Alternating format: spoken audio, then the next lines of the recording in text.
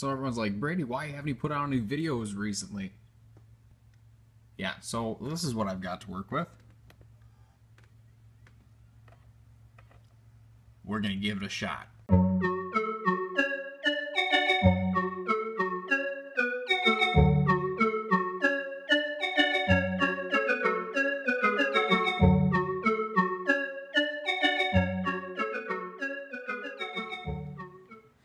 YouTube, how's it going? Long time no see. Bunch of stuff going on. Life is always crazy. It's never changed at that point. So I'm not going to go over too much, but we'll say 21 year old stuff.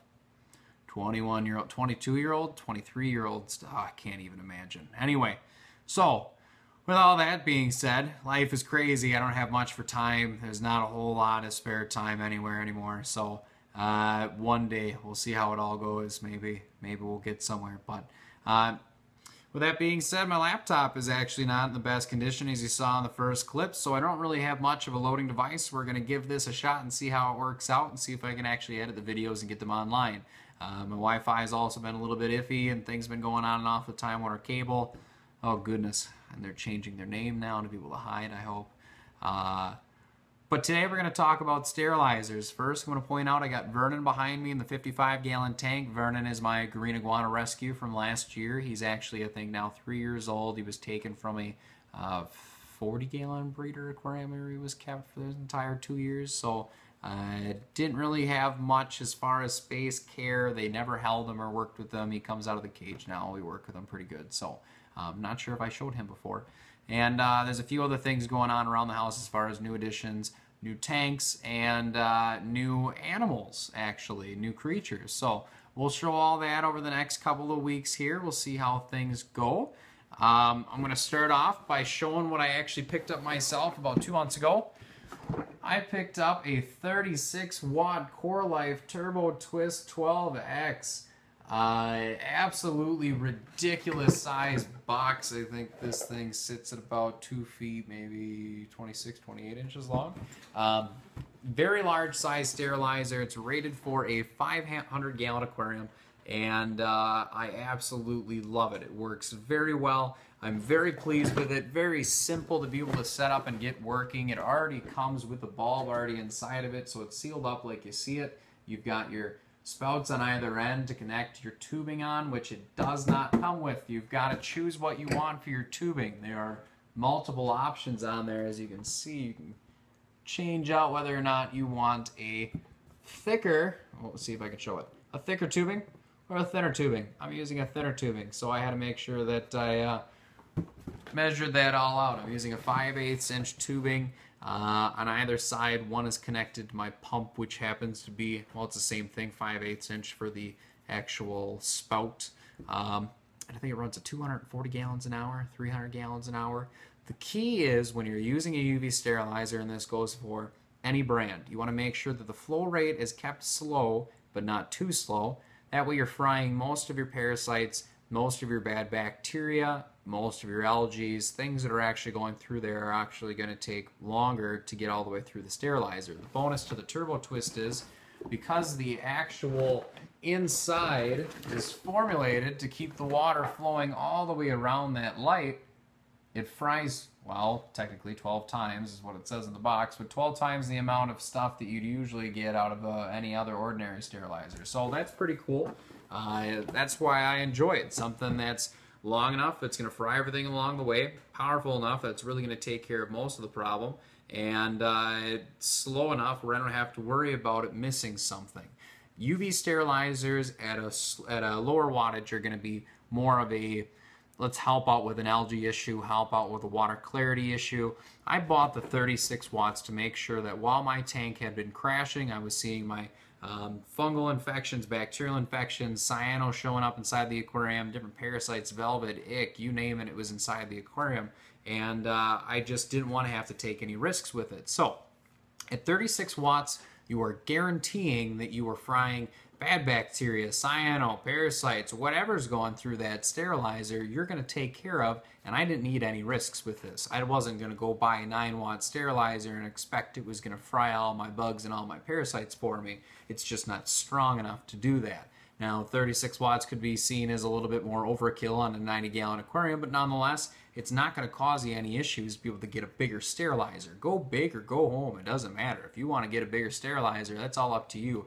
Uh, and I highly recommend it to keep it on any kind of main display to really help keep that water from getting too murky, uh, to keep anything down in general. If you've got cyano showing up in your aquarium, it helps out. Now, is it going to eliminate the problem? No, if you've got cyano, there's got to be something in the aquarium causing it but it definitely helps to bring it down. Um, other thoughts canister filters will have UV sterilizers inside of them. Hang on the back filters will have UV sterilizers inside of them. And the question comes up is it bad to have it inside the aquarium or inside the aquarium, whatever the case is, because it's frying my beneficial bacteria? At 36 watts, you've got to be frying everything inside of that aquarium. You should have a main spot, a main base where your bacteria is being kept. For example, I just took a 29 gallon freshwater aquarium from the fish house and brought it on over. I brought two gallons of water with me and the filter pads and all the filter cartridges and whatever bacteria pads I had in the back of that filter. Stuck it on, refilled it back up. The tank never cycled. My nitrates dropped down to about a 5 to a 10. Had no issues, no problems. The fish are fine. The water is clear. It never caused any issues. Well, why is that? My main base of that bacteria kept the whole tank going. Um, as long as you have that there, you're not going to have to worry about seeing your waste shoot through the roof. If you have the proper equipment to keep up with any kind of uh, spikes in nitrates because you are getting small amounts of bacteria that are being just decimated through the sterilizer. But it's also doing the same thing with algae. It's doing the same thing with any bacteria, any kind of parasite. If you're frying something, it's rotting the aquarium, you're going to have a little bit of ammonia spike, you're going to have a little bit of a nitrate spike as a result no big deal. It's not that big of a deal. It happens in the aquarium every single day. Um, I can say for personal experience, as I'm running this right now on my 90 gallon aquarium, I have no issues, no problems. My nitrates are currently at a 5. They were at 180. I brought it down to a 5 part per million. Who would have thought? So, that's really all I got. Sterilizers, not a bad idea. Got to get your own pump for the Coralife. I highly recommend it because it seems like it makes a lot more sense to use as a sterilizer. It can be used outside of the aquarium. It doesn't have to go inside a sump or inside anything else. You just have to place it somewhere. You can hang on the back of the aquarium for crying out loud. So um, not a bad idea. Highly recommended. Good product. It worked for me. So let's go take a look at it underneath the aquarium. All right, so there's the UV sterilizer light on, shows that bulb is still working. I've got my connections on the top. This is my return, which is going to be right towards the top of the bulb can be seen. Uh, goes straight down into the sump. There's my 5 8 inch tube. Once again, I bought this all off of Amazon. The sterilizer, the tubing, and the actual pump for the sterilizer. All came off of Amazon. Pretty decent price. I think I paid like 12 bucks for the pump. The tubing was like an extra 4 and then the sterilizer obviously 180 But yeah, the size that it's at, it stretches from the top of the stand to the very bottom of the stand. This is a, I think it's a standard black oak 90 gallon stand. So pretty decent size, really, honestly.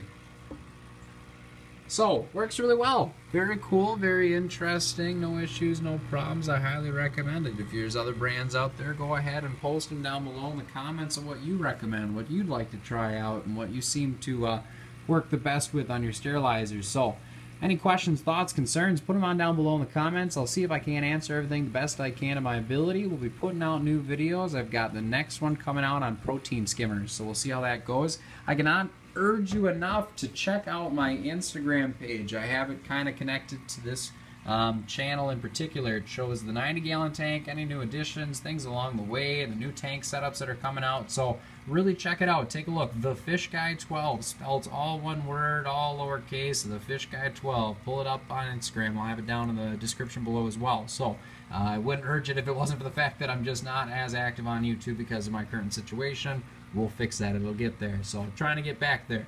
Um, with that being said, I hope you guys enjoyed the video. I hope you learned something, and I hope it helped you out. And uh, I will see you all next time.